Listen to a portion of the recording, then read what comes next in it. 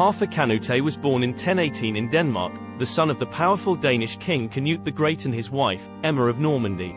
He was the youngest of Canute's sons and had several half-siblings from his father's previous marriages. As a child, Harthacanute spent time in England with his mother, who had been the wife of the English king, Ethelred the Unready, before marrying Canute.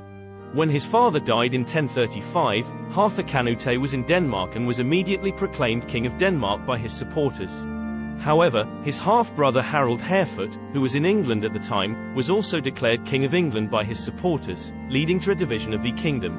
In 1036, Harthacanute attempted to invade England and claim the throne, but he was unsuccessful and returned to Denmark.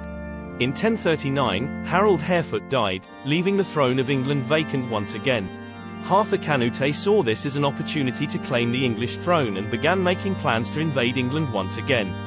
In June 1040, Harthacanute arrived in England with a large fleet of ships and was quickly crowned King of England in Oxford.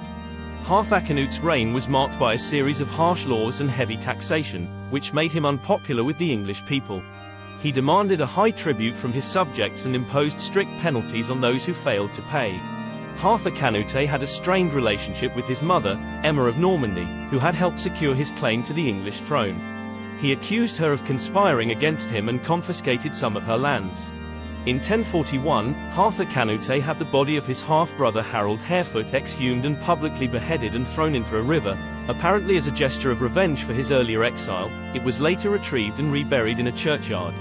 Harthacanute also had several of his enemies executed, including his own brother-in-law, Eadwulf of Northumbria, who he accused of plotting against him. In 1042, Harthacanute fell ill at a wedding feast and died soon afterwards, leaving no heirs. He was only 24 years old. His death led to a succession crisis in England, with several claimants vying for the throne. One of the claimants was Edward the Confessor, the son of Emma of Normandy, who had been living in exile in Normandy. The English nobility ultimately chose to recall him to England and crown him king. Edward the Confessor went on to rule England for the next 24 years, marking a period of stability and prosperity. Harthacanute was buried in Winchester Cathedral, where his mother Emma had also been buried. Harthacanute was also the last Viking ruler of England, as his reign marked the end of the Viking Age in England. Harthacanute was known for his love of hunting and was said to have kept a large pack of hounds. He was also known to be a heavy drinker and was said to have consumed large quantities of alcohol at feasts and banquets. According to some accounts, Canute died while playing a game of tables, a medieval board game that was similar to backgammon. Despite his unpopular reign, Canute is remembered as the last Danish king of England.